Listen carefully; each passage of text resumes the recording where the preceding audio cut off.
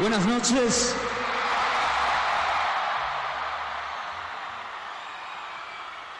Buenas noches, es un placer de verdad estar con todos ustedes aquí en el Foro Sol. Me van a disculpar, me van a permitir que les lea unas, unas líneas eh, rápidamente, unas líneas que escribí antes de llegar aquí a, al foro. Bueno, todos sabemos por qué vinimos aquí.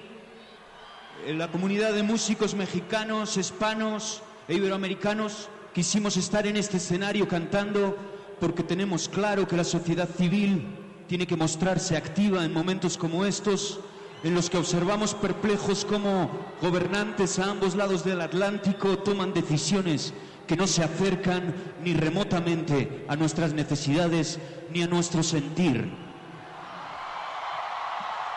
Las grandes empresas presionan y extorsionan y consiguen sus objetivos, negocian con aquellos a los que elegimos en las urnas, aquellos que dijeron que harían lo que más nos conviene a todos. Sabemos que no ha sido ni es así.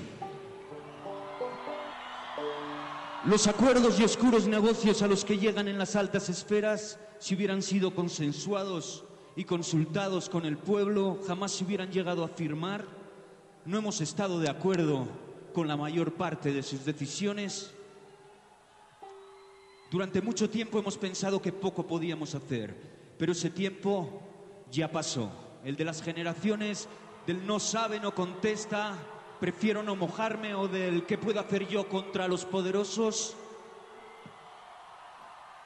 Nuestra involucración y activismo es importante, es imprescindible, es primordial.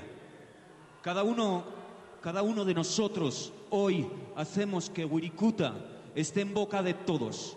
Tenemos que mostrar alto y claro nuestra repulsa y desagrado. Con lo sagrado no se negocia. El respeto a la tierra no se cuestiona. Wirikuta no se vende.